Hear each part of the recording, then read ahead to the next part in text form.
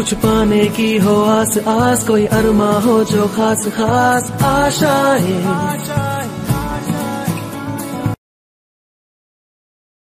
आज मैं शुरू कर रहा हूँ। फाइनेंशियल मैनेजमेंट मान लेते हैं, आप पहली बार पढ़ रहे हैं। इससे पहले कभी पढ़ा ही नहीं आपने, कोई टेंशन की बात ही नहीं है। मैं आज एक नया टॉपिक शुरू करूँगा और इसका आगे वाले, पीछे वाले टॉपिक से कोई लेना देना नहीं है। जो भी बच्चे नए ऐड होते हैं, मैं उनकी एक इंट्रोडक्टरी क्लास लेता हूँ, वो भी बता दूँगा। आप बस अभी पहले चैप्टर का नाम लिखेंगे। वर्किंग कैपिटल सभी लिखेंगे जी? वर्किंग कैपिटल मैनेजमेंट चैप्टर का नाम है वर्किंग कैपिटल मैनेजमेंट मेरी आवाज़ सब तक पहुँच रही है। आप इस समय पॉजिटिव बैठे हुए हैं। कहते हैं इंसान की जो पॉजिटिव थिंग्स हैं, वो बड़ी ज़्यादा मैटर करती हैं, वो किस तरह से बैठा हुआ है। आप इस समय अपनी पूरी की पूरी स्पाइनल कॉर्ड को सीधा करके बैठे हुए हैं, झुक के नहीं बैठे, बिल्कुल स्ट्रेट होकर बैठे ठीक है? तो वर्किंग कैपिटल मैनेजमेंट में मैं पाँच स्टार्स में से इस टॉपिक को पाँच स्टार्स ही देने वाला हूँ। पाँच में से पाँच दूँगा। क्योंकि ये चैप्टर बड़ा ही इंपॉर्टेंट है और पेपर में बार बार आता रहता है। तो आप सब जो भी दूर दूर बैठे हैं, वो भी समझ लें कि ये टॉपिक बड़ा ही इंपॉर्टेंट है और आप सबको ये टॉपिक ध्यान से करना है। इसलिए आप सब यहाँ पर बैठे हैं तो 15 से 20 नंबर का मैंने नोट किया कि 100 नंबर में से आ रहा है। थ्योरी और प्रैक्टिकल प्रैक्टिकल ज़्यादा आता है, लेकिन हम थ्योरी भी डिस्कस करेंगे इसमें। तो working capital management most important topic है, इस टॉपिक में हमारे लगभग चार लेक्चर लग जाएँगे, चार लेक्चर्स लग जाएँगे। ढाई ढाई तीन तीन घंटे के चार लेक्चर लगेंगे। आज पहला लेक्चर है। कहते हैं, जब भी चैप्टर शुरू हो, उसका पहले लेक्चर मिस नहीं करना चाहिए। मैं ये एडवाइज करता हूँ कि भाई, पहले में के में जो आगे आ गया, उसके बाद उसको पूरे चैप्टर तब तक खत्म ना हो जाए इंट्रोड्यूस ना करें। तो पहला लेक्चर आज हम शुरू कर रहे हैं। मैं आपसे बहुत सारी बातें पूछूँगा। आपने यहाँ पे बैठना है, चुपचाप नहीं बैठना। समझ गया बोला नहीं है, लेकिन खाली सुनते रहना है।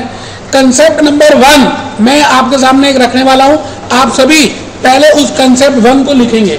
आइए, हम सब कंसेप्ट वन को लिखेंगे और हम ये देखेंगे कि ये कंसेप्ट कहता क्या है और ये हमें क्या बताना चाह रहा है। आइए।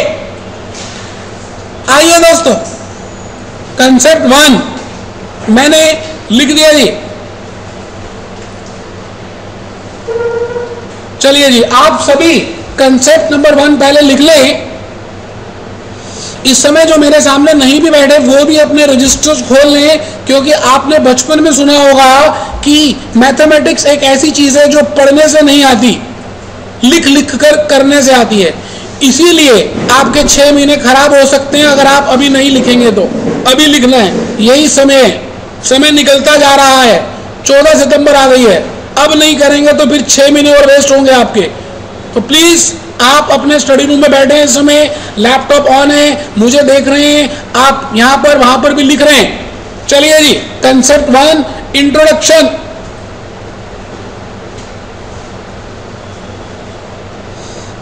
financial management के बारे में लिखा मैंने कंसेप्ट वन कि फाइनेंशियल मैनेजमेंट क्या होती है। वैसे मैं इसकी अलग से चाहूँगा कि आप मेरी इंट्रो क्लास ज़रूर देखें। इंट्रो क्लास में मैंने पूरा फाइनेंशियल मैनेजमेंट समझाया है। तो मैं रिकमेंड करूँगा, जिन्होंने इंट्रो क्लास नहीं की, वो मेरी इंट्रो क्लास ज़रूर देख लें। तीन डिसीज़न होती है जी मुख्य तौर पर। फाइनेंशियल मैनेजमेंट में थ्री डिसीज़न आर देयर तीन। जैसे महात्मा गांधी जी के बापू जी के तीन बंदर थे। बुरा मत देखो, बुरा मत सुनो। और बुरा मत कहो। तीन बंदर थे बापूजी के। बिल्कुल उसी तरह से फाइनेंशियल मैनेजमेंट में तीन डिसीजंस होती हैं। पहली डिसीज़न का नाम है इन्वेस्टमेंट डिसीजंस इन्वेस्टमेंट डिसीज़न का मतलब है हमें पैसे क्यों चाहिए? What is the requirement of funds पैसों का क्या करेंगे? पैसा पैसा कर दिए। ले ले तू पैसा। हो जा तू मेरी। आज मैं आपको एक गाना भी दिखाने वाला हूँ पैसे के ऊपर। आज मैं विजय माल्या की एक स्टोरी दिखाने वाला हूँ, आपको वीडियो दिखाऊँगा। और दूसरी डिसीज़न है फाइनेंशियल डिसीजंस वो पैसे आएँगे कहाँ से? आपको एक करोड़ चाहिए, दस करोड़ चाहिए। कौन देगा लक्ष्मी जी? लक्ष्मी जी का दिन आने वाला है, दिवाली वाले दिन हर रिलीजन का व्यक्ति लक्ष्मी जी की पूजा करता है। तो दोस्तों, लक्ष्मी जी का स्वभाव बहुत चंचल है। एक जगह टिक के बैठती नहीं है, कभी यहाँ, कभी वहाँ, कभी यहाँ। अभी देखेंगे, दूसरी डिसीज़न है फाइनेंशियल डिसीज़न पैसे कहाँ से आएँगे? कंपनीज़ एक्ट 2013 में पैसों के लिए दो ही सोर्सेज रह गए हैं। पहले हाइब्रिड सोर्स भी हुआ करता था, जिसको हम प्रेफरेंस बोलते थे। थोड़े से फीचर्स उसके पास डिबेंचर के थे, कुछ फीचर्स इक्विटी के थे। अभी हम देखेंगे इक्विटी और डिबेंचर्स को देखेंगे। सेकंड डिसीज़न के बाद, तीसरी डिसीज़न डिबिटेड डिसीज़न लिख ली सभी ने? ठीक है अब आइए concept number two working capital management में आप अब कंसेप्ट नंबर टू लिख रहे हैं। जैसे आपने देखा कि इन्वेस्टमेंट डिसीजंस का मतलब होता है पैसों की ज़रूरत। आप इलेवेंथ क्लास में गए थे और इलेवेंथ क्लास में मैडम ने पहली बार बोला था revenue expenditures and capital expenditures revenue का मतलब था शॉर्ट टर्म और कैपिटल का मतलब था long term short term and long term short term का मतलब है working capital decisions working capital decisions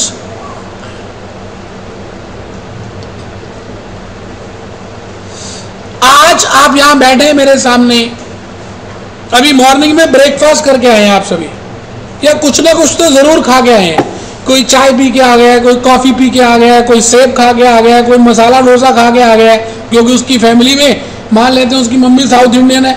अब कि आप में से किसी की मम्मी चाइनीज़ होंगी तो मोमोज खा के आए होंगे। लेकिन आपने ज़रूर कुछ ना कुछ खाया।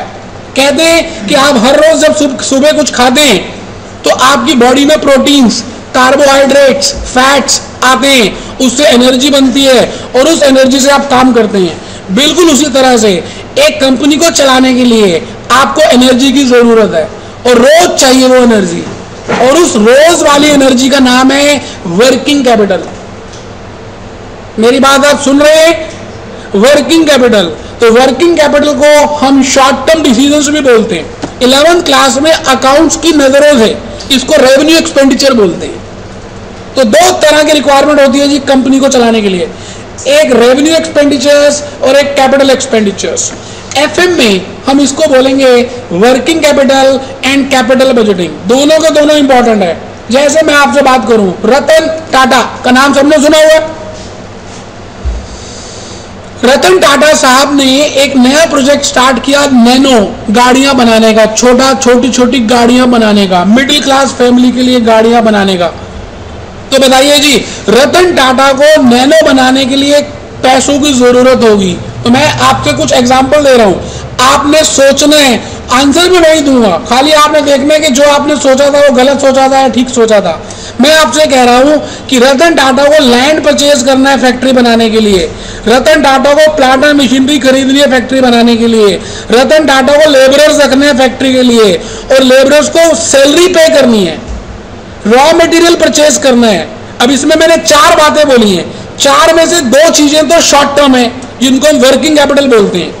तो मैं आपसे यही कहना चाह रहा हूँ कि कंसेप्ट नंबर थ्री को थोड़ा सा लिखना शुरू करें।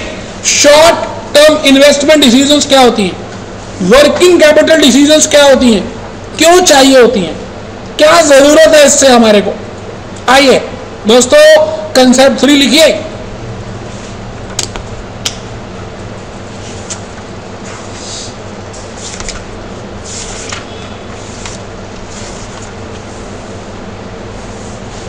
Concept 3 short term investment decisions. इस कंसेप्ट में जो भी बात आपको अच्छी लगे, उसको अंडरलाइन ज़रूर कर देना है। मैंने बड़ी स्पष्ट और नॉर्मल भाषा में लिखने की कोशिश की है। आप सभी को बताने की कोशिश की है। किसी किताब से नहीं लिए बड़े नॉर्मल नॉर्मल लैंग्वेज में लिखता गया। 24 कंसेप्ट लिखे हैं, पूरे वर्किंग कैपिटल मैनेजमेंट चालीस क्वेश्चंस लिखे हैं। और दावा इस बात का कि अगर आपने ये क्वेश्चंस ईमानदारी से कर लिए तो इस दुनिया में कोई भी पेपर देंगे तो वर्किंग कैपिटल का क्वेश्चन तो होने ही वाला है। इस बार भी हमारी सेम फिगर्स ही आई थी पेपर में। फिगर्स भी सेम थी।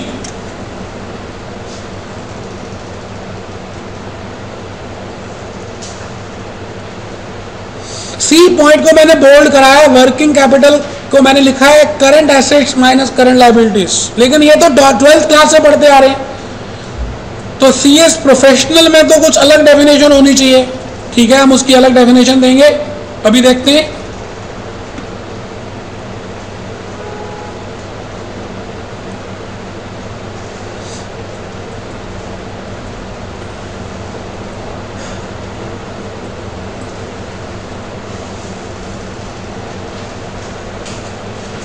मुझे उम्मीद है कि जो बच्चे दूर भी बैठे हुए हैं, मेरे को इस समय देख नहीं पा रहे फिजिकली खाली देख पा रहे हैं, मैं टच नहीं कर पा रहा उनको। वो भी अपने स्टडी रूम में रजिस्टर में लिख रहे हैं। क्योंकि कहते हैं, लिखने के बाद ही कुछ चीज़ें समझ आती हैं। ओरली ऑडिट नहीं करना है आपने तो सी पॉइंट तक लिख लिया कि सभी ने? अब मैं आ रहा हूँ कि आपको यह बताना चाहता हूँ कि वर्किंग कैपिटल की ज़रूरत क्यों है? वर्किंग कैपिटल क्यों चाहिए?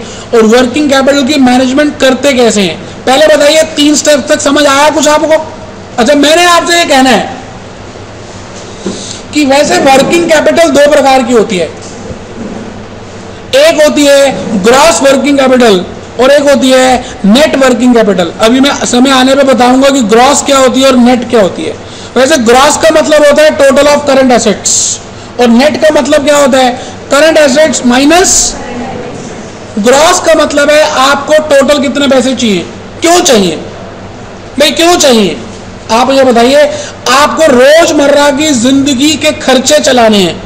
आप बताइए, अपोलो टायर्स। या चलिए, आप ही की बात करो। Company secretary in practice.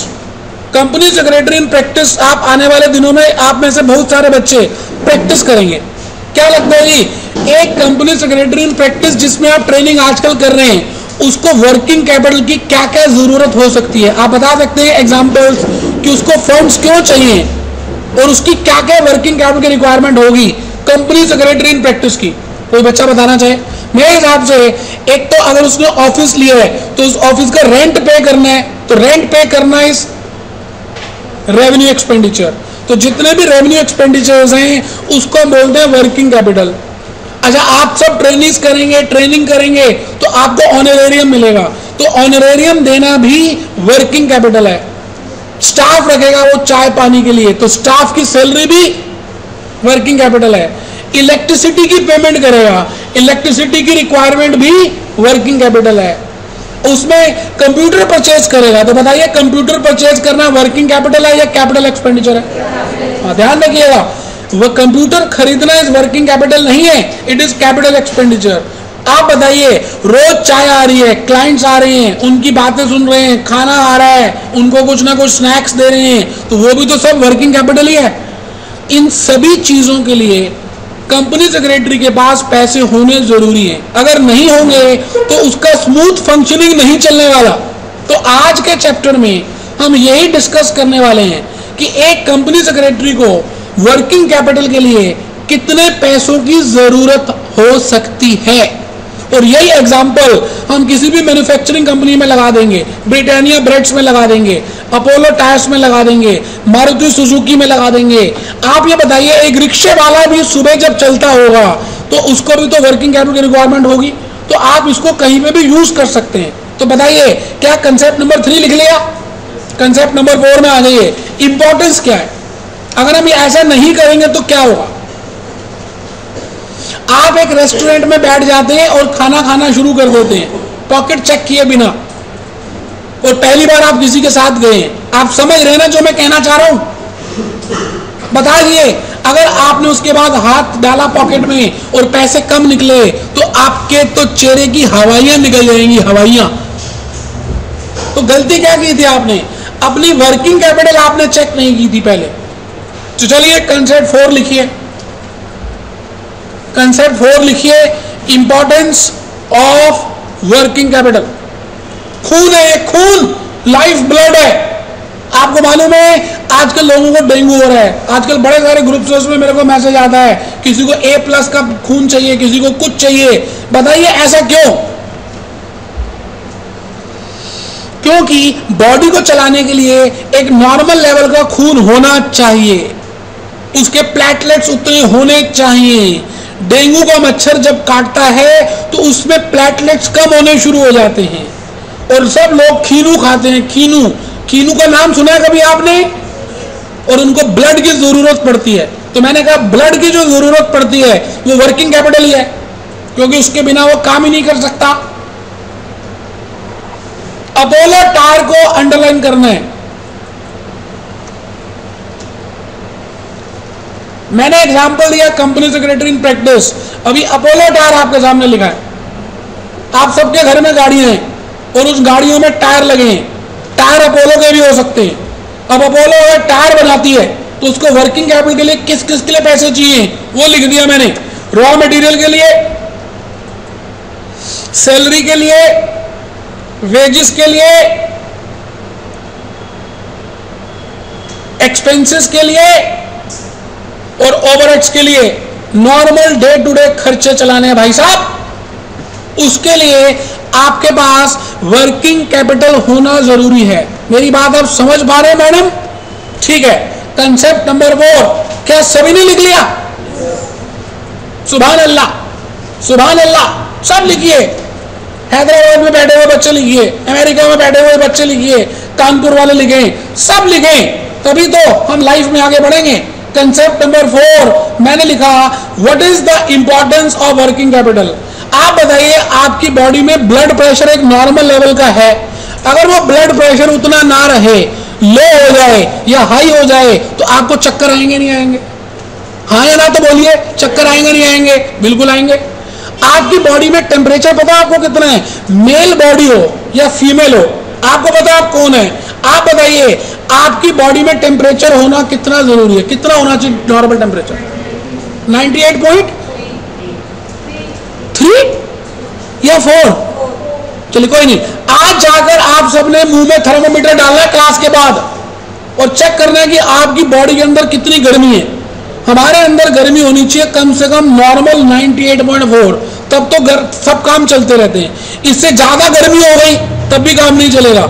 इससे कम गर्मी रही तब भी काम नहीं चलेगा। इसका मतलब किसी भी चीज़ को चलाने के लिए स्मूथ स्मूथ वर्किंग कैपिटल का होना ज़रूरी है। 98.4 में आपको अंदर अच्छा लगता है ना बॉडी में? आ, अच्छा फीलिंग आ रही है। और कई बार टेम्परेचर ज़्यादा होता है अच्छा लगता है नहीं?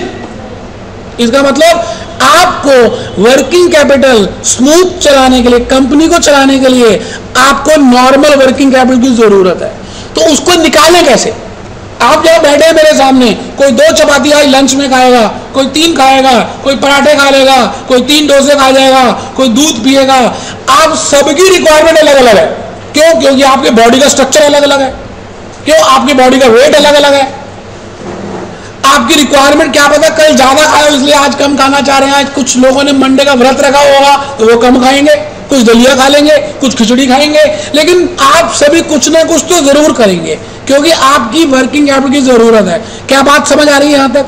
तो मुझे क्या करना है? As a company secretary as a chartered accountant उसको डिटरमाइन करना है। तो एक बार आ जाइए कंसेप्ट पाँच में, फिर मैं आगे चलूँगा। थोड़ा सा कंसेप्ट पाँच लिखना पड़ेगा आपको।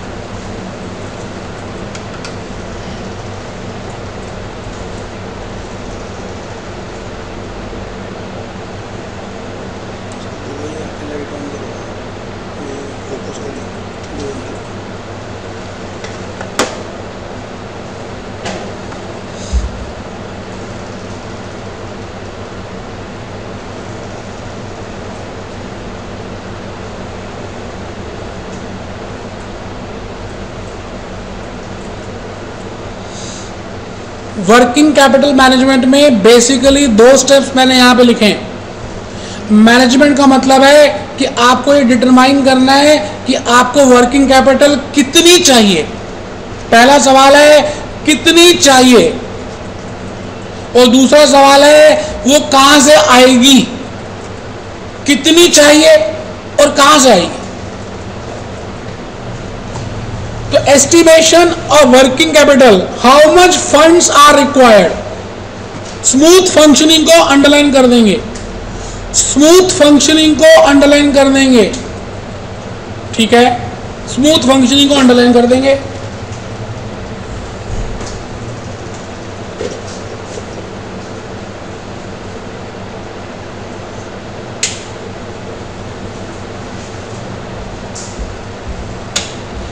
स्मूथ फंक्शनिंग को अंडरलाइन कर देंगे।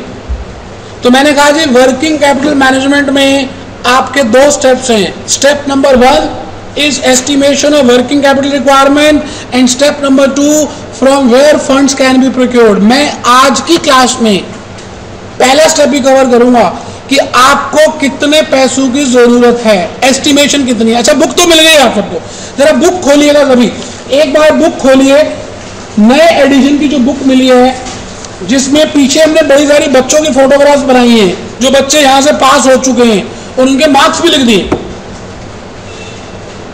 अंदर भी बड़ी सारी फ़ोटोज़ रखी है टेस्टिमोनियल्स रखे हैं।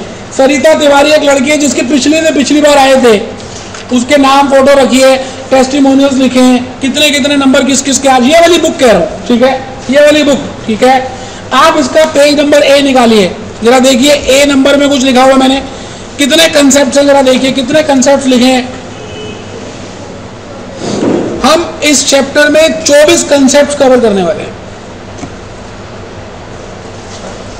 24 कंसेप्ट क्या? पाँच कंसेप्ट भी सब नहीं करा रहे। मैं तो 24 कराऊँगा। अब इसमें थ्योरी भी कवर होगी प्रैक्टिकल भी होगा। जरा देखिए, इसमें पहला कंसेप्ट कौन सा है? इंट्रोडक्शन लिखा हुआ मैंने।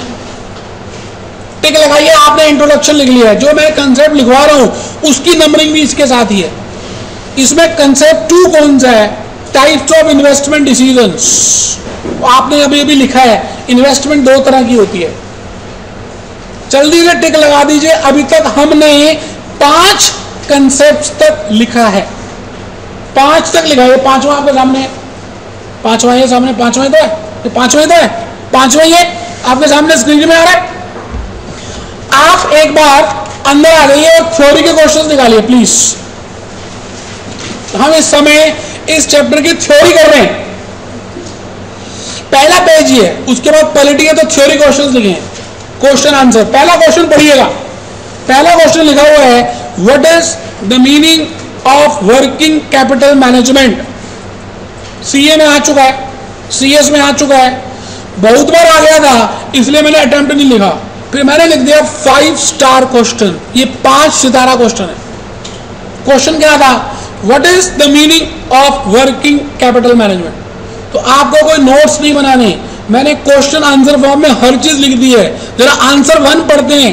आंसर वन पढ़ते हैं। मैंने कुछ लिखा है इसमें। मैं चाहता हूँ कि आप सभी पहले इसके आंसर के नीचे जो लास्ट पैराग्राफ है नीड फॉर वर्किंग कैपिटल उसको पढ़ेंगे।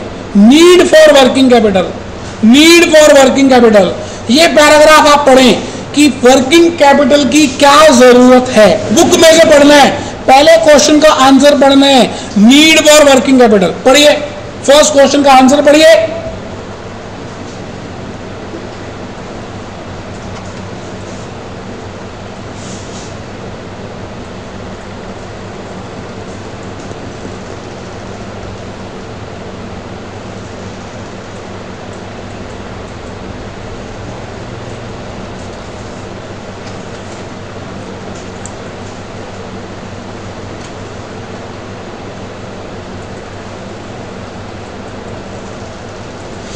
जो भी चीज़ अच्छी लगे अंडरलाइन करते हैं, आपकी आदत बिगड़ चुकी है, खाली आँखों से पढ़ते हैं आप, हाथों से भी पढ़ेंगे।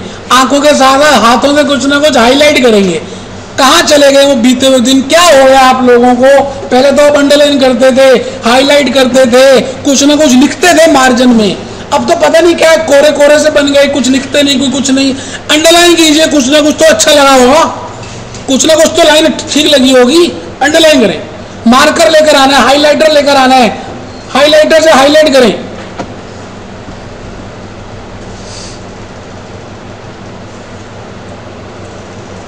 क्वेश्चन नंबर टू, इसके बाद नीचे है। इंपॉर्टेंट मार्क करें। मैंने कहा जी, क्वेश्चन टू में लिखा है how many types of working capital are there कितनी प्रकार की वर्किंग कैपिटल होती है? जरा देखिए मैंने कितनी प्रकार की वर्किंग कैपिटल लिखी है।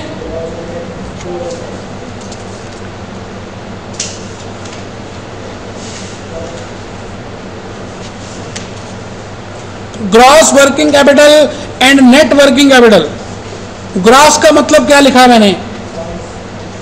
करंट एसेट्स का जोड़ करना है बस। करंट एसेट्स का। करंट एसेट्स का। करंट एसेट्स कौन से होते हैं? As per company act 2013 definition change हो चुकी हैं। इवन फर्नीचर भी करंट एसेट हो सकता है। अगर आपकी इंटेंशन है उसको 12 महीने में बेचने की तो आपको फर्नीचर को भी करंट एसेट में दिखाना पड़ेगा। वैसे करंट एसेट कौन से होते हैं? ऐसे एसेट्स जिनको आप 12 महीने में बेचने के लिए इंटेंशन रखते हो। जरा देखिए एग्जांपल क्या लिखे बारहवीं क्लास से पढ़ते आ रहे। Cash debtors stock BR prepaid expenses ये सब करंट एसेट्स होते हैं। करंट लाइबिलिटीज एग्जांपल देखिए जरा करंट लाइबिलिटीज के। अब जो आपको पेपर आएगा, आपके एग्जामिनेशन में, वो क्वेश्चन बताने जा रहा हूँ। क्वेश्चन थ्री आ जाइए और लिख लीजिए इंपॉर्टेंट है पेपर के लिए। और हम इस क्वेश्चन को पूरा डिस्कस करेंगे, तभी जाकर हम प्रैक्टिकल कर पाएँगे। तो क्वेश्चन थ्री इंपॉर्टेंट मार्क करें। मैंने इसमें लिखा है, ऐसी कौन सी बातें जो एक कंपनी की वर्किंग कैपिटल को चेंज कर देती हैं या अफेक्ट करती हैं। तो मैं आपसे पूछना चाहूँगा दोस्तों, आप सब बैठे मेरे सामने? होनहार देश के होनहार नौजवान बैठे हैं। वो दिन दूर नहीं, जब मेरी इंडिया टॉप लेवल पे आने वाली है। आप बताइए आप बताइए, आप सब कोई भी काम करते हैं, कुछ भी वर्क करते हैं, मैं तो कहता हूँ एक चाय का कप भी पीते होंगे अगर। तो उसमें भी कुछ ना कुछ आपके माइंड में फैक्टर ज़रूर चलते होंगे। कि कौन सी दुकान से पीनी है और कौन सी दुकान से नहीं पीनी। आप सभी ने सी ए सी एस और सी एम ए का कोर्स ज्वाइन किया है। इनमें से एक कोर्स ज्वाइन कर लिया। ट्वेल्थ क्लास के बाद आपके पास चॉइस थी कि आप इन तीनों में से कुछ भी कर सकते हैं। आपके दोस्तों ने तो कुछ किया भी नहीं, वो बीको पास कर रहे हैं, क्योंकि ज़िंदगी के मज़े लेना चाहते हैं पहले ही, कोई बात ही नहीं। आपने सी एस ज्वाइन किया। जिस दिन ज्वाइन किया था, याद कीजिए वो दिन, थोड़ा सा आँखों में एक सेकंड के लिए दोबारा से पिक्चर्स लेकर आइए। आप रजिस्ट्रेशन करा के आए थे। ड्राफ्ट जमा करा दिया था। स्टडी मटेरियल मिल गया था। आपने घर में उसको देखा था, कुछ इस तरह से, ऐसे देखा था। और आपको लग रहा था कि आधी चीज़ें तो आपने की हुई हैं। उस दिन आपके पाँव ज़मीन में नहीं पड़ रहे थे। आधे आधे फुट ऊपर थे क्योंकि आपको लगता था हो गया, मैं तो आधा बन ही गया। लेकिन कहते हैं, बड़ों का कहा और आंवले का खाया हुआ धीरे धीरे पता चलता है। लेकिन धीरे धीरे इश्क, आपको पता चला कैसे होता है। फाउंडेशन किया एग्जीक्यूटिव किया। अब अब तो प्रोफेशनल में आ गए और आप इससे पीछा छुड़ाना चाह रहे हैं कि जल्दी से क्लियर हो जाए। आप बताइए आप मुझे एक चीज़ बताइए, आप में से जितने बच्चों ने भी सीएस किया, इनमें से मैं आपसे पूछूँ कि सीए क्यों नहीं किया? तो आपके माइंड में कुछ फैक्टर्स होंगे। मेरे को लगता है कि एक फैक्टर ये भी हो सकता है कि सीएस में अकाउंट्स कम है और आपका हाथ प्रैक्टिकल में टाइट था। आज भी टाइट है। इसलिए तो फाइनेंशियल मैनेजमेंट में दिक्कत आती है। मैं ये कहता हूँ कि आपका हाथ टाइट था मैं अपनी तरफ़ से ऐड कर रहा हूँ बुरा मत मनाइएगा, अपने आप मत लेके चलिएगा। मैं तो ऐसे बोल रहा हूँ। मैं रामलाल की बात कर रहा हूँ, लो, आप रामलाल नहीं हो, लो लो, आप राम प्यारी भी नहीं हो, लो, मैं तो राम प्यारी के लिए बोल रहा हूँ, आपको थोड़ी बोल रहा हूँ। इसमें इसमें आपने सीए में सुना था कि रिज़ल्ट बड़ा गंदा आता है, कि पिताजी अपने बेटे के साथ भी पेपर देने जा सकते हैं। हद हो गई, हद हो गई, दोनों पेपर देने जा रहे हैं। इसलिए आप डर गए थे, आपने सीए नहीं किया। मैं तो रामलाल की बात कर रहा हूँ। रामलाल को लगा कि मैं शुरू में ट्रेनिंग नहीं कर सकता तो उसने, आपने इसलिए सीएस किया। आपका लॉ में बड़ा ज़्यादा इंटरेस्ट था, इसलिए आपने सीएस किया। आपको इसकी स्कोप अच्छी लग रही थी, इसलिए आपने सीएस किया। मैं तो कह रहा हूँ, कुछ भी हो सकता है, कुछ भी फैक्टर्स हो सकते हैं। लेकिन एक बात तो बिल्कुल पक्की है, आपके माइंड में फैक्टर्स थे, तभी आपने ये डिसीज़न ली। बोलो हाँ ना तो बोल लो इसी तरह से आप बताइए, आपकी कंपनी अपोलो टायर्स है। आप नए नए फाइनेंस मैनेजर इस कंपनी के चुने गए हो। आपकी वाइफ आपकी नई नई मैरिज हुई है अभी। आपकी वाइफ एमआरएफ टायर्स में है। बताइए, वो भी टायर कंपनी में काम करती है। आपकी गर्लफ्रेंड डल्लप टायर्स में है, वो भी टायर में काम करती है। आपकी brother in law sister in law भी रेडियल टायर्स में, सारा खानदान टायरों की कंपनियों में काम करता है। और आप नए नए अपॉइंट हो, कहाँ पे? अपोलो टायर्स में। आप मुझे बताइए, आपका मैनेजिंग डायरेक्टर आपको कहता है कि वर्किंग कैपिटल की ज़रूरत कितनी है? प्लीज़ एस्टिमेट करके बताओ मिस्टर फाइनेंस मैनेजर आप बताइए, क्या आप अपनी वाइफ से पूछ सकते हैं? कि एमआरएफ टास्क की कितनी है, क्या वही बोल सकते हैं? या अपनी गर्लफ्रेंड से पूछ सकते मान लेते हैं। आपकी वाइफ कहती है कि पंद्रह लाख रुपए उनको चाहिए वर्किंग कैपिटल के। आपकी गर्लफ्रेंड कहती है, हम तो आठ लाख में काम कर लेते हैं। आपका ब्रदर इन लॉ कहता है, हमें बारह लाख चाहिए। बताइए जी, क्या लगता है, इनके बेसिस पे आप अपनी एस्टिमेशन कर सकते हैं या नहीं? बिल्कुल भी नहीं कर सकते। क्या पता, इन्होंने कितने टास्क बना रहे हैं, ये कितने बना रहे हैं, ये कितने बना रहे हैं। इसका मतलब आपके अपने अलग फैक्टर्स होंगे। इनसे मिलते जुलते नहीं होंगे। तो मैं आप सभी को यही बताने जा रहा हूँ कि फैक्टर्स कैसे होते हैं। आइए, एक बार आप अपने रजिस्टर में लिखें। Concept number six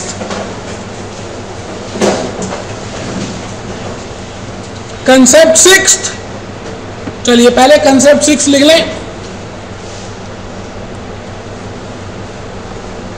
types of working capital.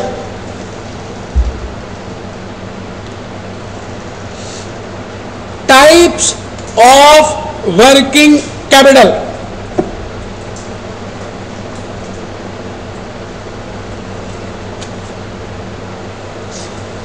Types of working capital.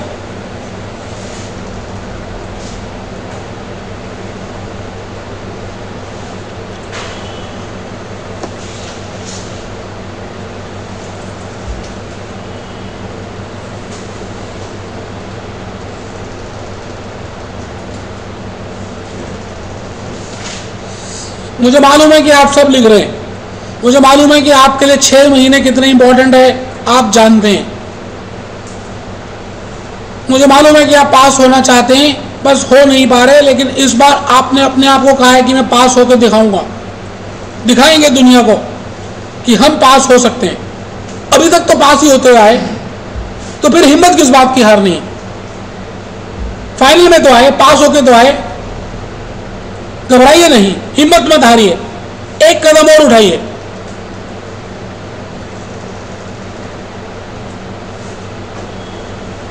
Current assets के नाम आपको पता ही है। करंट एसेट्स क्या होते हैं? लिख लें those assets which can be converted into cash ये फिक्स एसेट्स भी आ सकते हैं इसकी कैटेगरी में कंपनी एक्ट 2013 के हिसाब से। तो अभी लिख लें, और जो भी मैंने चित्र बनाए हैं आप उन चित्रों को ज़रूर लिखें क्योंकि थ्योरी के क्वेश्चनों में चित्र बनाने बहुत ज़रूरी है। अभी मैं एक किताब देने वाला हूँ, जिसमें उसका नाम है चित्रों वाली किताब। आपने हर थ्योरी के क्वेश्चन में वो सारी फ़ोटोज़ डाल देनी है। फिर देखिए, कैसे नहीं आते नंबर इस बार भी तो थ्योरी आई थी। इस बार भी तो बच्चे के 95 आ गए। कैसे आए? क्योंकि उसने थ्योरी को प्रैक्टिकल बना दिया फ़ोटोज़ बना दी नंबरिंग से लिखा। आ गए? आपके क्यों नहीं आ सकते। बिल्कुल आ सकते।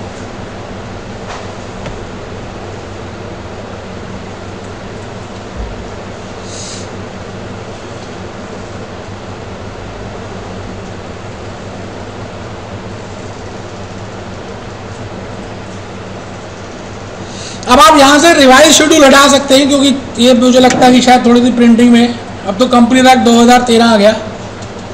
आप लिख दें as per as per companies act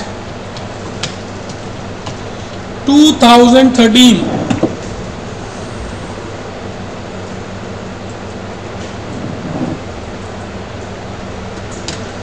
2013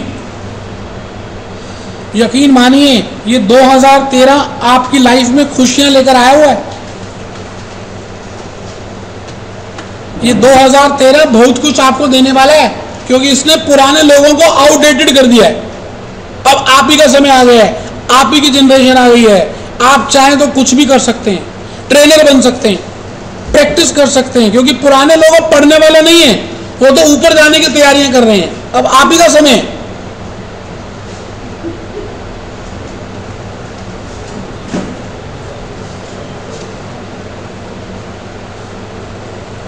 क्या सभी ने फ़ोटो बना दी? मैंने इसमें फ़ोटो में क्या लिखा है? टी ज़ीरो टी ज़ीरो का मतलब क्या? है वर्तमान काल, अभी का समय है। टी ज़ीरो टी बारह का मतलब क्या है? बारह महीने, क्योंकि साल के बारह महीने होते हैं। तो चलिए टी ज़ीरो से टी बारह लिख लिया। थोड़ा सा जल्दी जल्दी लिखना है। ठीक है, आइए, हम आगे चलेंगे और बिल्कुल आगे चलकर लाइबिलिटीज के बारे में लिखेंगे। Those liabilities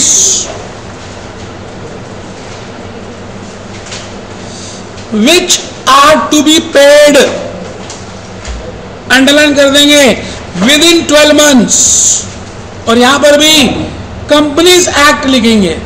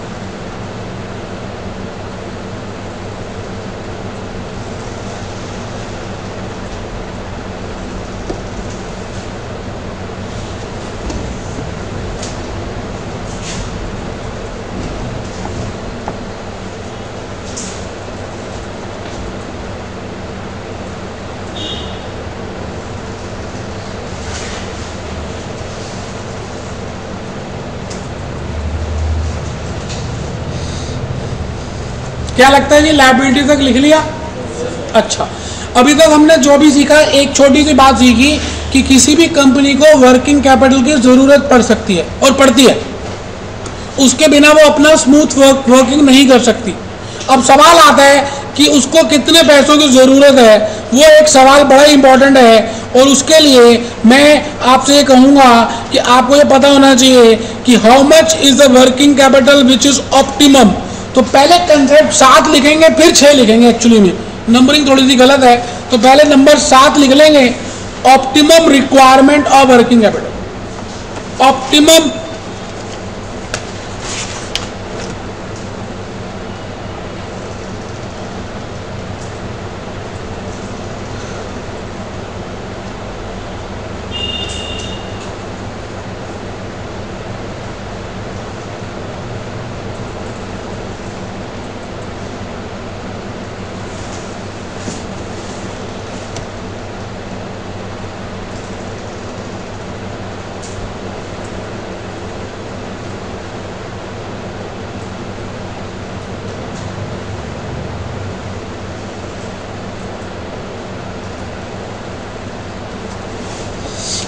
optimum का मतलब है कितनी पर्याप्त ज़रूरत है।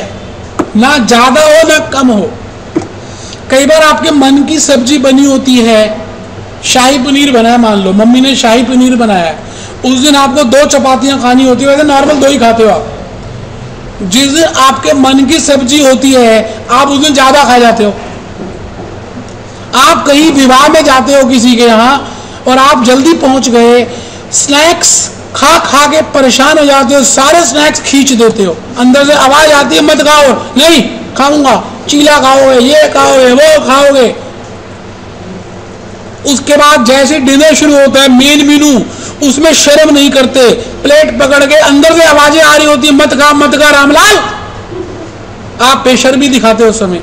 आप ऑप्टिमम नहीं खा रहे, ज़्यादा खा चुके हो। ओवर ऑप्टिमम आपको मालूम है कि विवाह में आजकल आखिरी स्टॉल चूरन की गोलियों का रखा हुआ उन्होंने। किसी कॉन्सेप्ट के बेसिस पर रखा हुआ ना, क्योंकि आपने ऑप्टिमम तो खाया नहीं, ज़्यादा खींच लिया। अब चूरन की गोलियाँ लेते हुए साथ में रास्ते में ज़रूरत पड़ेगी। मैंने तो एक विवाह में गया, वहाँ इनो भी लगे हुए थे, इनो के शैशे लगे हुए थे। रास्ते में इनो लेते रहना, क्योंकि आपने ज़्यादा खा लिया। इसका मतलब कोई भी चीज़ ऑप्टिमम अच्छी लगती है। ना तो ऑप्टिमम से कम और ना ऑप्टिमम से ज़्यादा। मेरी बात आप समझ पा रहे हैं जो मैं बोलता जा रहा हूँ? अब ऑप्टिमम निकालें कैसे? कैसे कैलकुलेट करें? इसको निकालने के लिए हम कुछ फैक्टर्स को दिमाग में रखेंगे। तो चलिए जी, बस थ्योरी का कंसेप्ट शुरू होने वाला है। हम फैक्टर्स को दिमाग में रखेंगे। तो आइए, लिखिए कंसेप्ट नंबर सिक्स बनाइए इसको। थोड़ी नंबरिंग में दिक्कत आ गई। कंसेप्ट सिक्स लिखा है आपने पहले? Six A factors affecting working capital requirement concept six A six A factors affecting working capital requirement बड़ा ही इंपॉर्टेंट कंसेप्ट है ये। इंपॉर्टेंट मार्क करें पेपर में आएगा। और जितने भी प्रैक्टिकल क्वेश्चंस करेंगे, अगर ये कंसेप्ट समझ नहीं आया तो क्वेश्चन तो कर लेंगे, लेकिन सब अंदर से पता नहीं चलेगा क्यों कर रहे हैं।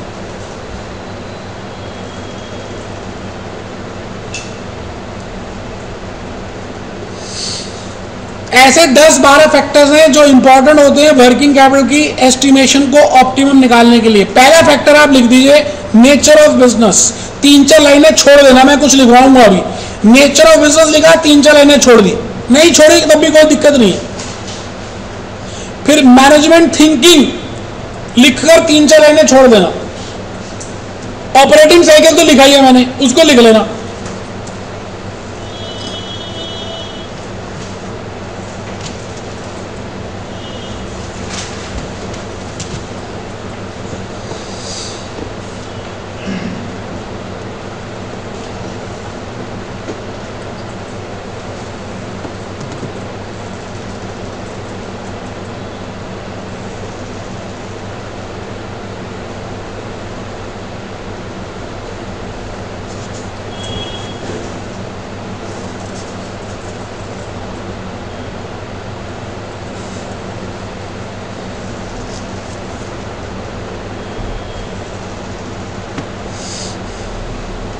ऑपरेटिंग साइकिल में इंपॉर्टेंट मार्क कर देना। कई बार खाली ऑपरेटिंग साइकिल के ऊपर शॉर्ट नोट आ गया।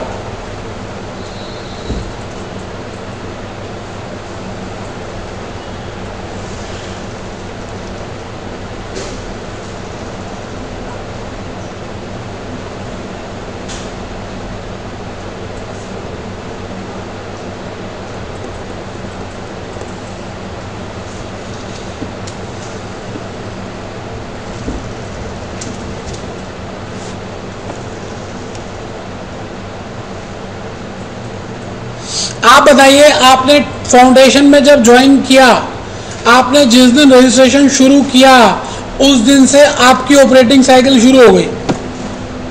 और जिस दिन नौकरी लगेगी मेंबर बनने के बाद, वहाँ जाकर ऑपरेटिंग साइकिल खत्म होगी। बीच में बड़े सारे पड़ाव थे। जैसे वैष्णो देवी माता रानी के दरबार जाना हो तो बड़े सारे पड़ाव आते हैं बीच में। चरण पादिका आती है, सांझी छत आती है, बड़ी सारी जगह आती है, हाथी मत्था आता है। लास्ट में आप वैष्णो देवी के दरबार पहुँचते हो, माता रानी के दरबार, माँ रानी, जय माता दी करते जाते हो। आप बीच में पूछते हो, कहाँ पे है भवन? कहाँ है भवन? आप बताइए, आपको बीच में कोई भी कहता है तो क्या कहता है? ये रहा पास में, ये रहा पास में, क्योंकि वो आपकी हिम्मत बढ़ाना चाहता है, जबकि पास में नहीं था वो। तो बताइए जी, ऑपरेटिंग साइकिल सबने लिख ली? इसमें चार बातें लिखनी है जरा ध्यान से। बस ये चार पाँच बातें खत्म, इसके बाद लिखने का काम खत्म है। आज की क्लास में जो लिखना था, लिख लिया। अभी बस ये लिखना थोड़ा सा। Longer the operating cycle higher will be the investment समझाऊँगा। अभी लिख लीजिए। समझाऊँगा। एक्सप्लेन करूँगा। अभी लिख लीजिए।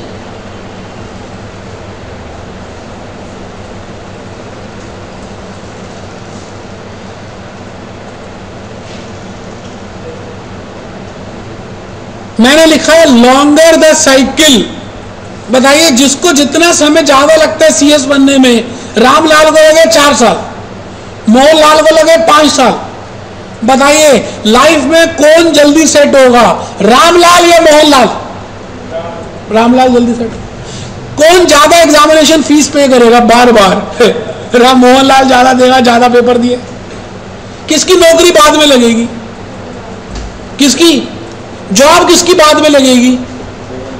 मैरिज किसकी बाद में होगी? अब ऑपरेटिंग साइकिल है। अब आपके ऊपर है कि इस बार क्लियर करना है, आगे निकलिए। इसमें पाँच स्टेजेस हैं। आप उनको लिख लें एक बार। सबसे पहले कच्चा सामान आता है। पिज्जा बनाना हो तो डोमिनोज पिज्जा वाले क्या करते होंगे? पहले पिज्जा बेस खरीदते होंगे। कच्चा सामान, पिज्जा बेस, सब्ज़ियाँ खरीदते होंगे। फिर उसको ओवन में डालते होंगे।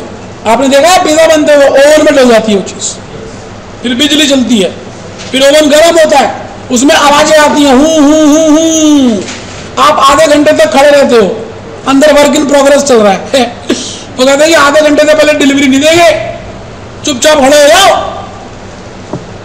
फिर फिर पिज्जा बन जाता है। आपको लगता है ऐसी खा लें। नहीं, वो डब्बे में डालते फिनिश गुड करते, फिर उसमें टोमेटो कैचअप डालते हैं नैपकिन रखते हैं फिर वो कहते, थैला घर से लाए हो क्या? आप कहते, भैया, थैला तो आप ही दे दो। वो कहते, हम नहीं देंगे कुछ भी, ऐसे ले जाओ। बट कुछ लोगों ने क्या किया, कुछ पिज्जा वालों ने, वो तो प्लास्टिक के नहीं, कागज़ के थैले बनाए हुए हैं। उसमें डाल के देते हैं। प्लास्टिक तो मंदी हो गया आजकल। फिर आप घर ले जाते हो, फिर खाते हो, फिर उसकी एनर्जी बनती है। बताइए, कितनी बड़ी साइकिल रही। सुबह सामान आया वर्क इन प्रोग्रेस में कन्वर्ट हुआ, तैयार हुआ, आप घर ले गए और मान के चलो पिज्जा वाला के आज खा लो, पैसे दो दिन बाद देना। हद कर दी। आप तो कभी दोबारा उस दुकान पर जाओगे नहीं, क्योंकि पैसे देने आपको। तो बताइए जी, पाँच स्टेजेस लिख ली क्या? सभी ने? सभी ने? चलिए, अब और नहीं लिखना है। एक चित्र बनाकर और नहीं लिखना है। फ़ोटो बना लीजिए। फ़ोटो में मैं बहुत ध्यान देता हूँ। 95 मार्क्स तभी आएँगे जब आप फ़ोटोज़ बनाएँगे। ऑपरेटिंग साइकिल की फ़ोटो बनाइए।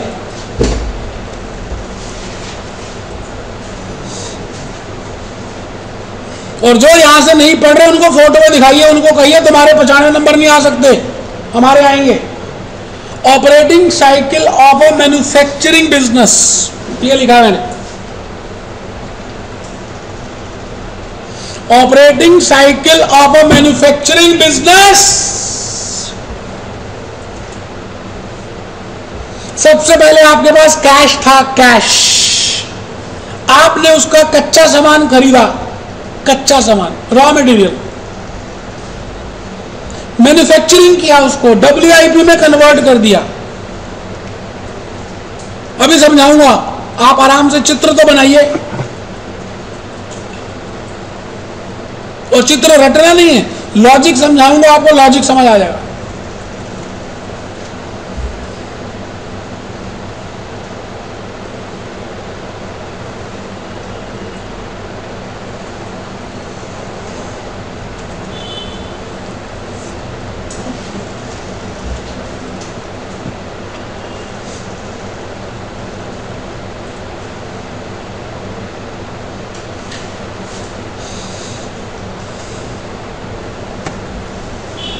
जिन्होंने बना लिया इस चित्र को माइंड में माइंड में जरा सोचे। इस इस माइंड में जरा सोचना शुरू यहाँ पिक्चर बनाए फोर हेड में पिक्चर बनानी है, ये फोर हेड के ऊपर। क्या हो गया रहा है? अपने मानस पट में, यहाँ पर फोर हेड में पिक्चर बनाए, कि आप कर क्या रहे हैं? सबसे पहले कच्चा सामान खरीदा, उसको प्रोड्यूस किया। आप सबने मेरे सामने वर्क इन प्रोग्रेस बैठे हो आप ना फाउंडेशन से पहले रॉ मटेरियल थे। आप ना डांस करने के लिए तैयार हो रहे थे। अब आप डांस कर रहे हो। कोई सत्तर परसेंट में डांस कर रहा है, कोई एटी में डांस कर रहा है, कोई बीस परसेंट में डांस कर रहा है। जिस दिन 25 फरवरी देख वाले दिन आप पास हो जाओगे तो आप उस दिन 100 प्रतिशत बन जाओगे। सोचिए, कितने खुश हो गए आप। आँखें बंद करके सोचिए। आपने रिज़ल्ट देख लिया आहा। आप पास हो गए हो। आपके पूरी बॉडी के हर एक सेल में कितनी खुशी सी है। आपने मेहनत की थी और आप पास हो गए। ऐसी खुशी आज तक आपको कभी मिली नहीं। ऐसा एहसास हो रहा है आपको। आपकी पूरी बॉडी के एक एक सेल में खुशी है। तब आप फिनिश गुड बन जाओगे। फिर जॉब लगेगी। फिर जॉब में एक महीना काम करोगे तो पैसे तो एक महीने बाद मिलेंगे डेटर्स आपने फिर जिससे उधार लिए थे, उसको दे दोगे। तो ऑपरेटिंग साइकिल लिख लिया सभी ने लिखा है? ये सभी ने लिखा है? ठीक है जी, बिल्कुल। अभी और कुछ नहीं लिखना, बहुत लिख लिया। बहुत लिख लिया। अब मैं आपसे कुछ बातें पूछूँगा, और फिर आपको बताएँगे, और आपकी लाइफ में जादू होना शुरू हो जाएगा। आइए। जादू, तेरी नज़र। मैं अभी आपके सामने ये कह रहा हूँ कि आपको वर्किंग कैपिटल एस्टिमेट करना ज़रूरी है। ये बात तो हम सब समझ चुके हैं। अगर आप ऑप्टिमम एस्टिमेशन नहीं करेंगे तो आपका प्रॉफिट ज़्यादा नहीं होगा। ऑप्टिमम एस्टिमेट करना भी बहुत ज़रूरी है। ना ज़्यादा, ना कम। लेकिन इसको एस्टिमेट करने के लिए कुछ फैक्टर्स बड़े इंपॉर्टेंट है जी। Factors affecting affecting working capital requirements अब ये थ्योरी में बार बार आ रहा है। अच्छा अभी के पाँच मिनट अगर आपने ध्यान से बात सुन ली ना तो आने वाले तीन लेक्चर्स बहुत इजी हो जाएँगे। और नहीं सुनी, फिर भी तीन लेक्चर तो करने ही पड़ेंगे। लेकिन भारी हो गए करेंगे इसलिए ध्यान से पाँच मिनट। जरा गहरी इसलिए सांस ले लेंगे। मेरे को लग रहा है कुछ झुक के बैठे हुए हैं। झुक के बैठना अलाउड नहीं है देखो, ऐसे बैठे कुछ तो। ऐसे। चेयर में लंबी टांगे कर लिया आराम से बैठे। ऐसे नहीं बैठना। ऐसे बैठना है। ऐसे। समझ? गए झुकना नहीं है। कमर सीधी से बैठ रहे हैं। तो जो मेरी बात होगी ना आपके अंदर तक जाएगी, समझ आती रहेगी। लॉजिक लगाओगे। और ऐसे बैठे ढीले ढीले यौनिंग आनी शुरू हो जाएगी, मेरी बातें अंदर तक नहीं जाएँगी। ठीक है? तो अभी मैं आपसे ये कहना चाह रहा हूँ कि आप सभी को जब वर्किंग कैपिटल की एस्टिमेशन करनी है तो कुछ फैक्टर्स का ध्यान रखना है। इसको बोलते हैं factors affecting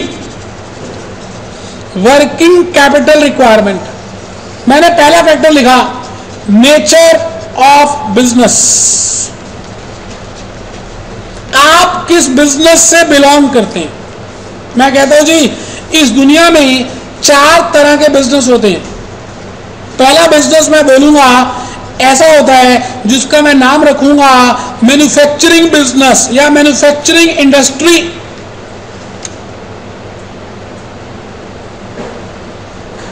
क्या आप में से कोई एग्जांपल बता सकता है? मैंने जो अभी एग्जांपल दिया अपोलो टायर्स का। बताइए वो सर्विस इंडस्ट्री थी या मैन्युफैक्चरिंग इंडस्ट्री थी? ठीक है, बहुत बढ़िया। इसके साथ साथ मैं आपको ये कह रहा हूँ, एक इंडस्ट्री होती है जिसका नाम है कॉन्ट्रैक्ट इंडस्ट्री और लास्ट होती है job and batch industry costing में आपने किया हुआ मुझे मालूम है। आप मुझे बताइए ब्रिटानिया ब्रेड्स कौन सी इंडस्ट्री मानी जाएगी? मैन्युफैक्चरिंग मानी जाएगी। आप मुझे बताइए H D F C bank कौन सी कंपनी मानी जाएगी? सर्विस इंडस्ट्री मानी जाएगी? आप मुझे बताइए Larsen and टोरबो Larsen and टोरबो metros बना रही है ब्रिजेस बना रहे हैं, कौन सी इंडस्ट्री में आएँगे? आप मुझे बताइए, वंदना लूथरा, शहनाज हुसैन, रितु बेरी बेरी? हाँ फ़ैशन डिज़ाइनर ये कहा आएँगे? जॉब एंड बैच में आएँगे। आप सब मेरे सामने बैठे हैं, मैं आपसे एक सवाल करता हूँ। सबसे ज़्यादा वर्किंग कैपिटल आपको क्या लगता है? कौन सी इंडस्ट्री में होगी? मैन्युफैक्चरिंग में सर्विस में कॉन्ट्रैक्ट में या जॉब एंड बैच में? मुझे लगता है कि इस, ये तो बिल्कुल आंसर ठीक है कॉन्ट्रैक्ट में तो होगी होगी, क्योंकि आपने पढ़ा हुआ है कॉन्ट्रैक्ट तीन तीन साल तक चलते हैं, लंबे समय के होते हैं, ये तो बात ठीक है। उसके बाद किसमें चाहिए होती होगी बहुत बढ़िया। तो नीचे लिखिएगा नीचे लिखिएगा। कहा नीचे? इसी के नीचे लिखिए। आपने जगह छोड़ी है तीन चार लाइन की? लिखिए लिखिए। In case of manufacturing and contract industries in case of manufacturing and contract industries generally working capital requirement is higher is higher than service comma job and batch industry and batch industry अच्छा कोई भी बात लिखनी है ना, इसलिए नहीं लिखनी कि मैं लिखवा रहा हूँ। आपको अगर नहीं समझ आई तो पूछ सकते हैं। भले क्लास के बाद पूछे, लेकिन पूछ सकते हैं। वैसे मैं कोशिश करूँगा कि आपको पूछने की ज़रूरत ना पड़े। क्या लगता है जी ये बात सबको क्लियर हो गई? ये जो मैंने लिखी है, समझ आ गई? अच्छा मैन्युफैक्चरिंग में क्या होता है? रॉ मटेरियल खरीदते हैं। एक प्रोसेस में जाता है है ना? फिर प्रोसेस टू में जाता है। है ना? फिर थ्री में जाता है। तब जाकर फिनिश गुड बनता है। दूसरा फैक्टर आपने लिखा था मैनेजमेंट थिंकिंग चेक कर लिया, आप लिख चुके हैं। आप भूल गए, लेकिन मुझे याद है आपने लिखा था। मैनेजमेंट परसेप्शन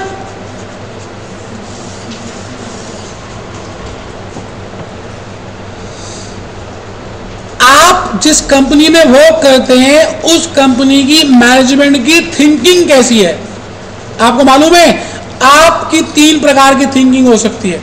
आप एग्रेसिव हो सकते हैं। आप कंजर्वेटिव हो सकते हैं। कंजर्वेटिव आप मॉडरेट भी हो सकते हैं। तीन एग्रेसिव मॉडरेट कंजर्वेटिव आप सब बैठे हैं मेरे सामने, आपकी तीन पर्सनालिटी हो सकती है। बताइए जी एग्रेसिव का मतलब क्या होता है? जो हाई रिस्क लें। आपने कभी देखा मोटरसाइकिल आजकल बच्चे बड़े जिगजैग वे में चलाते हैं? और स्पेशली अगर रात को देखें तो कुछ काफिले का काफिला रात को 11-12 बजे के आसपास चलता है। वो इतनी तेज तेज आवाज़ करते हुए जाते हैं जिग जैग में ऊपर स्टंट मारते हैं, बड़ा हाई रिस्क लेते हैं। मज़ा बहुत आता लेकिन। और जब गिर जाते हैं तो छह छह महीने तक हॉस्पिटल में रहते हैं, क्योंकि स्पाइनल कॉर्ड में लगती है। एक मैं स्टडी पढ़ रहा था कि आजकल ज़्यादातर जो फ्रैक्चर्स हो रहे हैं ना यंग जनरेशन को हो रहे हैं। जब वो स्कूटर चला रहे हैं मोटरसाइकिल चला रहे हैं, बड़ी गलत तरह से चला रहे हैं। अच्छा कुछ तो बड़े आराम आराम से चलाएँगे। धीरे धीरे धीरे धीरे। लो रिस्क लेते हैं मोटरसाइकिल चलाते हैं तो। धीरे धीरे ब्रेक के मार मार के ब्रेक के मार मार के। कुछ होते हैं, मीडियम रिस्क लेते हैं जी। आप मेरे सामने बैठे हैं। ज़्यादातर इंसान ना मीडियम रिस्क के होते हैं। आप सब रैशनल हो। ना ज़्यादा, ना कम। बीच बीच का। बीच बीच का। ठीक है? आप बताइए जी, मैं आपको कहूँ, विजय माल्या। आप मिले नहीं हो विजय माल्या से? लेकिन आप उसकी कंपनी में काम करते हो, मान लेते हैं यूबीएच आप आप, वो कंपनी बियर बनाती है किंगफिशर बियर बनाती है। पानी बनाती है मिनरल वाटर शराब बनाती है विस्की बनाती है। आप उस कंपनी में काम करते आप नारायण मूर्ति को भी जानते हो। अब आप बताइए, दोनों की पर्सनालिटी में कोई डिफरेंस है या नहीं है? क्या लगता है एग्रेसिव कौन है? ज़्यादा रिस्क कौन लेता है? विजय माल्या या नारायण मूर्ति? विजय माल्या ज़्यादा ज़्यादा रिस्क लेता है। और नारायण मूर्ति की अगर आप पर्सनालिटी देखें इंफोसिस का जो मालिक है, ज़्यादा रिस्क नहीं लेता, ठीक ठीक है मॉडरेट बोलता है ठीक बोलता है कंजर्वेटिव नेचर का मैं आपसे पूछ रहा हूँ कि अगर आपकी मैनेजमेंट एग्रेसिव है तो आपकी वर्किंग कैपिटल कम होनी चाहिए या ज़्यादा होनी चाहिए, मेरा सवाल है आपसे। सोच के बताइए, अगर आपकी वर्किंग कैपिटल कम होनी चाहिए या ज़्यादा होनी चाहिए, सोच के बताना है।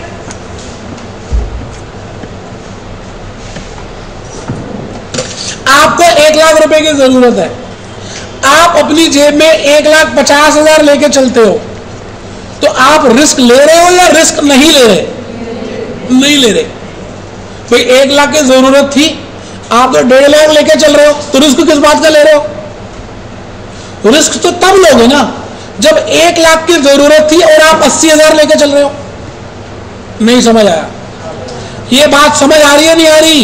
तो मैं आपसे यही कहने जा रहा हूँ, लिखिए लिखिए in case of aggressive management thinking in case of aggressive management thinking philosophy अगर मैनेजमेंट की थिंकिंग एग्रेसिव है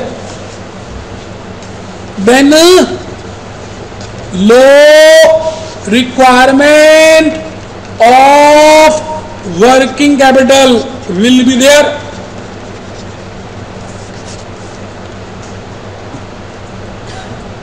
भाई रिस्क तो तभी लोगे ना। ये बात समझ आ रही है, नहीं आ रही? मैं एक सेंटेंस और लिखता हूँ, फिर शायद आ जाए। इन केस ऑफ़ कंजर्वेटिव आप बता रहा आपने। अगर मेरी मैनेजमेंट कंजर्वेटिव है अच्छा कंजर्वेटिव कौन होते हैं? कौन होते हैं कंजर्वेटिव जो रिस्क लेना ही नहीं चाहते, डरपोक किस्म के। बनिया कंपनी है, मारवाड़ी कंपनी है। बताइए, कुछ नेचर वाइज बड़ा रिस्क कम लेते हैं। पैसे को खर्च नहीं करते। अगर मैं रिस्क नहीं लूँगा तो मेरी वर्किंग कैपिटल की जो रिक्वायरमेंट है, जो आप एस्टिमेट करोगे, वो ज़्यादा होनी चाहिए, कम होनी चाहिए। भाई, आप आप तो एक फाइनेंस मैनेजर हो ना। आपको तो देखना है ना कि मेरे पास कितने पैसे कंपनी को चलाने के लिए होने चाहिए ऑन एवरेज तो अगर मेरी मैनेजमेंट बड़ी डरपोक किस्म की है डर, डरती है डरती है तो बताइए मेरे पास वर्किंग कैपिटल नॉर्मल से ज़्यादा होना चाहिए या कम होना चाहिए? ज़्यादा होना चाहिए तभी तो रिस्क कम ले रहा हूँ। तो आप हिल स्टेशन जाते हो आपको दस हज़ार रुपए की ज़रूरत है और आप डरपोक किस्म के हो। आपने सीक्रेट पॉकेट में तीन चार हज़ार रुपए अलग से रख दिए। बार बार टच करके फील करते हो। है, है ना? है ना? आप बताइए आप ज़्यादा पैसे लेके जाओगे ना घर से क्योंकि आप रिस्क नहीं लेते। और अगर आपको रिस्क लेना है तो आप कहोगे वहाँ कोई दोस्त होगा मिल जाएगा। पाँच छह हज़ार ले चलो देखी जाएगी जो होगा। तो इसका मतलब अगर मैनेजमेंट आपकी एग्रेसिव है तो आपकी वर्किंग कैपिटल की रिक्वायरमेंट कम होगी। मेरी बात समझ रहे हैं? ठीक है। अब आ जाइए थर्ड पॉइंट जो मैंने लिखवाया था। हे राम, इसकी तो जितनी महानता बताऊँ, उतनी कम है। ऑपरेटिंग साइकिल बस इसके बाद प्रैक्टिकल शुरू होने वाला है। अभी और भी फैक्टर्स हैं धीरे धीरे करेंगे। पहले आप एक आइडिया ले लीजिए। मैं मैं वर्किंग कैपिटल एस्टिमेट करना चाहता हूँ। उसके दो स्टेप्स हैं। पहला स्टेप है, कितनी कितनी वर्किंग कैपिटल के लिए फंड्स की ज़रूरत है? ज़रूरत है ज़रूरत है ज़रूरत है। कितनी ज़रूरत? फिर कहाँ से आएँगे? कहाँ से आएँगे? वो पैसे कहाँ से आएँगे? ये दो स्टेप है अब कितनी ज़रूरत है? इसके लिए मैं अभी क्या कर रहा हूँ? फैक्टर्स देख रहा हूँ। उनका नाम है फैक्टर्स अफेक्टिंग वर्किंग कैपिटल पहला फैक्टर कौन सा देखा मैंने? नेचर ऑफ़ बिज़नेस बताओ, ये समझ आ गया? दूसरा फैक्टर कौन सा देखा? दूसरा मैनेजमेंट थिंकिंग तीसरा बताने जा रहा हूँ ऑपरेटिंग साइकिल कुछ तो ऐसे देख रहे हैं जैसे भी खा जाएँगे मेरे को। अभी बता रहा हूँ ऑपरेटिंग साइकिल ऑपरेटिंग साइकिल बता रहा हूँ। खाने की क्या ज़रूरत है? मैं कहता हूँ ऑपरेटिंग साइकिल का मतलब होता है, आपने जर्नी कब शुरू की? और जर्नी खत्म कब हुई? आप बताइए, सबसे पहले आपके पास कैश होगा, आप रॉ मटेरियल खरीदेंगे, उसके बाद वर्क इन प्रोग्रेस में कन्वर्जन होगी, उसके बाद फिनिश गुड्स बन जाएँगे, फिर आप डेटर्स में कन्वर्ट कर देंगे, आपने पूंजी यहाँ लगाई। और ये पूंजी, दोबारा से पूंजी में कन्वर्ट होने में कुछ तो समय लगा होगा। बताओ हल्दीराम के यहाँ पर आप दही भल्ले खाने जाते हो। आप बताइए हल्दीराम दही भल्ले वाला, आप बताइए सुबह सुबह दही भल्ले बनवाता होगा, दही खरीदता होगा? आप शाम को जाते होगे, लाइन लगा के पैसे देते हो। ले ले ले ले ले। शाम तक उसका सारा सामान बिक जाता होगा और कैश रोकड़े में आ जाता होगा कैश बोरियों में डालते हैं, इतना कैश आता है। दिवाली आने वाली है। अगर मैं आपसे पूछूँ कि हल्दीराम की ऑपरेटिंग साइकिल कितनी है तो क्या एक दिन कह सकते हैं या नहीं कह सकते? एक दिन में पैसा कन्वर्ट हो जाता है। अच्छा कभी आपने देखा है, भले आज खाए, एक हफ़्ते के बाद पैसे दे देना कोई स्कीम है क्या? कोई नहीं निकालता। लेकिन आप लक्ष्मी सीमेंट को देखिए, जरा मुझे बताइए, लक्ष्मी सीमेंट का नाम सबने सुना है अच्छा लाइमस्टोन आज खरीदती है, पत्थर खरीदती है, पत्थर। बिहार से पत्थर आता है फैक्ट्री में जाता है। वर्क इन प्रोग्रेस एक महीना लग जाता है पत्थर से सीमेंट बनने में। हद कर दी, फिर फिर एक महीना वो उधार देते हैं अपने डेटर्स को, फिर कैश आता है।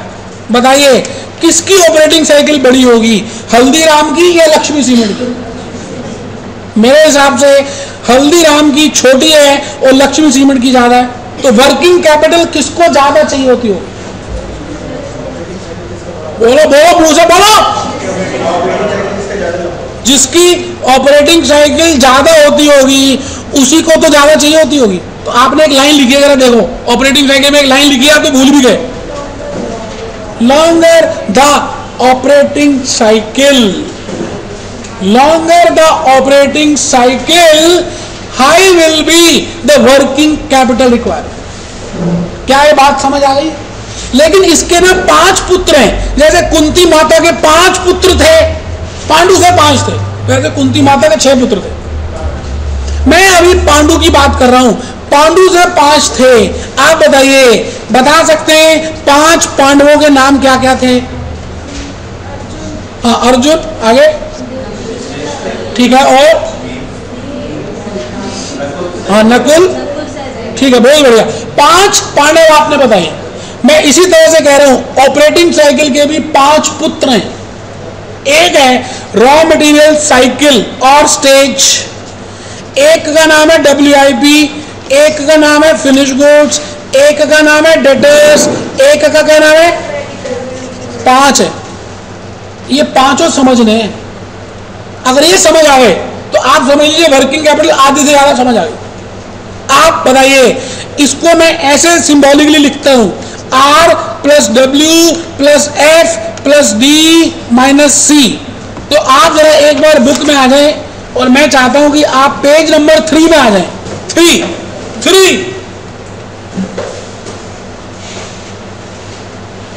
खोलिए बुक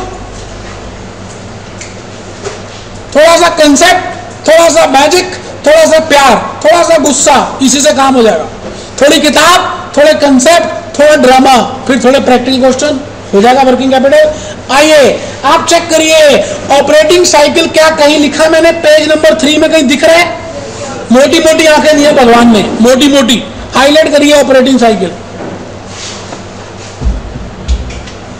थोड़ा सा एक दो लाइनें पढ़ लीजिए बस। ऑपरेटिंग साइकिल बहुत इंपॉर्टेंट है। पढ़िए।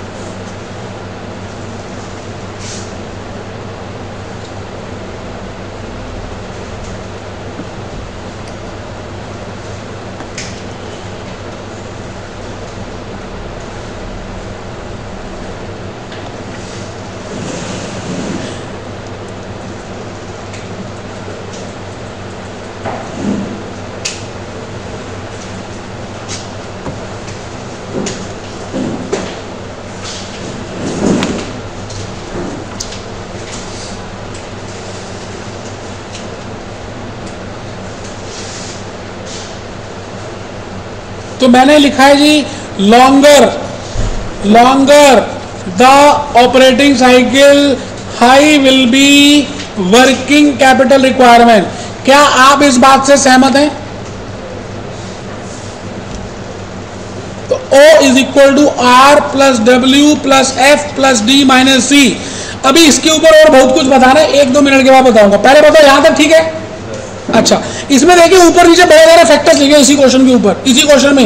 ऊपर देखिए बड़े सारे फैक्टर्स लिखे हैं। मैंने तो तीन ही बताए अभी चार, पाँच, छह फैक्टर्स और भी हैं।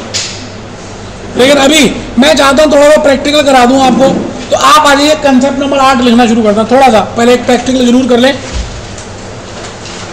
समय हो गया काफ़ी सारा, फिर भी मैंने थ्योरी अभी बताई है। अभी एक प्रैक्टिकल करेंगे। चलिए हेडिंग लिखिए कंसेप्ट नंबर आठ।